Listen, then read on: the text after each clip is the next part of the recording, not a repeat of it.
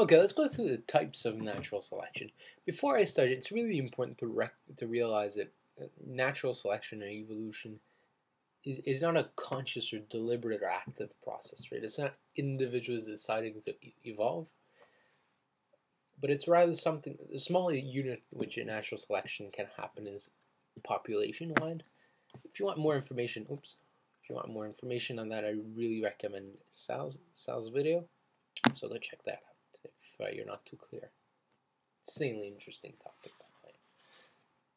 So when we think about natural selection, um, I mean, I'm sure you you've, you've heard that the example of uh, the peppered moths uh, in England, or the uh, the giraffe, the famous uh, the giraffe's neck.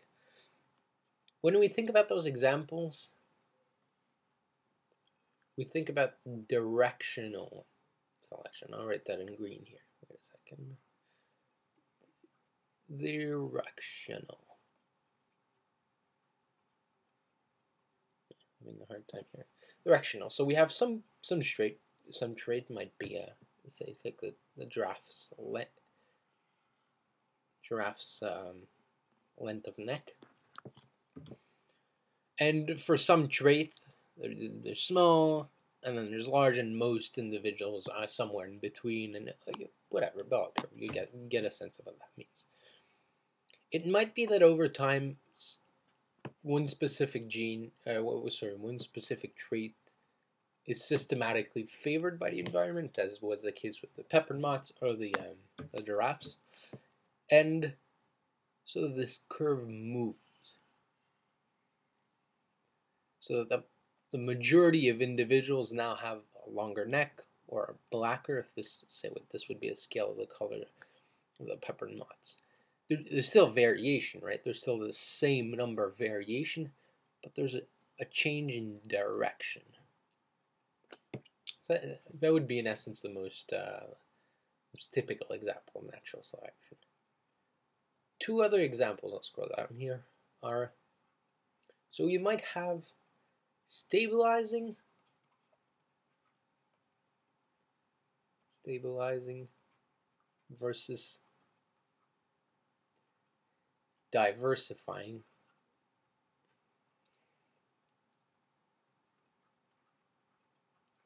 diversifying selection or that disruptive.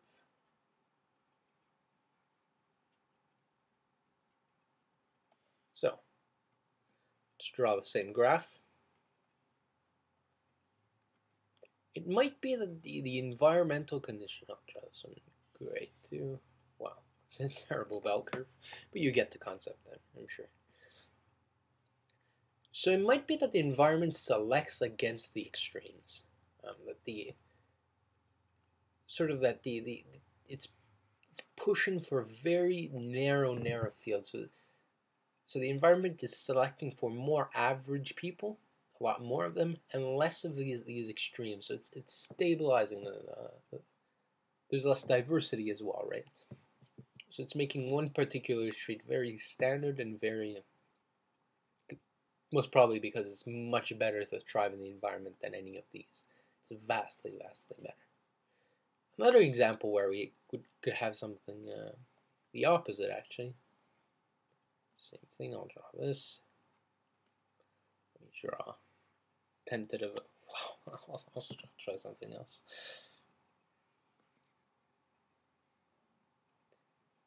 Okay, so we have the same uh, same concept if you want of this bell curve, and there might be for some reason there might be a need of of uh, of diversity or evolution in this population. So what will happen is something like this, where the extremes, where the environment selects for the, these extremes, but these extremes are more favorable to survival than this, than the middle condition. So over time, this this this will go deeper and deeper and deeper, and you might eventually get get two entire different species for whatever reason that might be. Right? Um, it might be that there's a change here, and the, this trait is leading to the demise of the species. So some portion of the population is developing this other trait to survive, and some portion is developing this other trait, and eventually we might have two dif- entirely different species, or if it's or it might say the same species, but we'll, we'll get these two camps if you want. So that's diversifying. You might think of it as as divergent evolution as well. This is what it looks like on a, on a graph. Hope that makes sense for you. So let's go on here and uh, let's talk about what creates variation in a population. The easiest example is gene mutation. So just randomly, by chance, we have mutation in, in, in our genes, and mostly point mutations. And because of that, just randomly, people are different, right? I mean, not just because of this, but because of that, and uh, those differences might help us thrive, or they might undermine our survival. And if they do, we'll pass it on to our children, and they'll have more. And you get the concept, I'm sure. So that's a most uh, most evident example. Another example, sorry, something that's more difficult to understand is genetic drift. So this idea that we might have variation in the population because of one-time environmental conditions. So I'll give you two, uh, separated into it's probably going to be much clearer. Um, let me put this. So two ways that might happen. There's the, the bottleneck effect. Bottleneck. And the founder effect. So the bottleneck effect is, say there's a, these, if this this population of people and there's a big natural disaster, so a lot of people will die in that disaster, but what's really important here is non-selectively, just randomly. Right, a lot of these uh, these individuals will perish in whatever whatever condition, short-term condition happens here. And because of that, the end result, the genetic pool after this one-time catastrophe, will be different than what it was originally. I'm not sure if, if that makes a lot of sense. So you'll have you'll have because of this one-time event, the gene pool is going to change completely, or com not completely, but to some extent it will change. Another example here.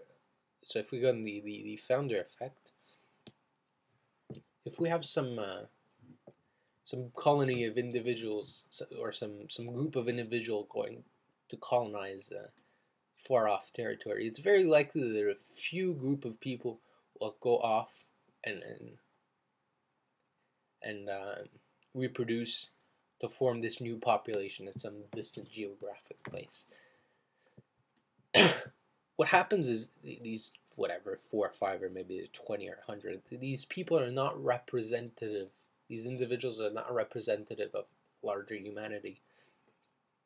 And as they go reproduce here, a lot of these few individuals' genes will appear there. And this population will be much, much different than the population from where they're from. Right? Because this this group is not a representative sample of the larger uh, larger population where they're from.